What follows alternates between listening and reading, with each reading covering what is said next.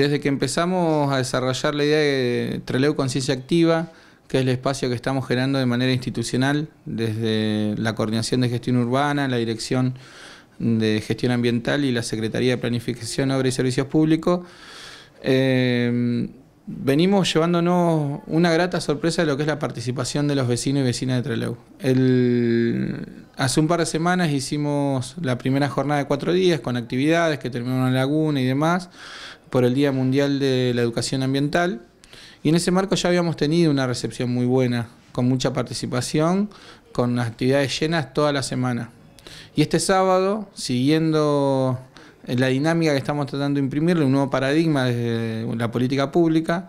eh, Conciencia Activa llegó al río. Y la verdad que estuvimos muy contentos porque participaron, bueno, personal del área, nos acompañó y nos cuidó durante toda la actividad eh, el Cuerpo de Bomberos Voluntarios de Trelew, con una embarcación, con gente preparada, con todo para que estén todas las garantías de seguridad de todos los participantes.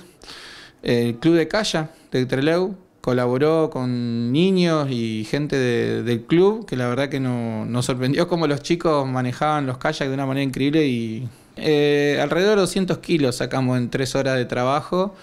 E incluso una de las cosas que más nos llamó la atención también, que fue gratificante, fue que se, eh, acercaron entre 5 o 6 familias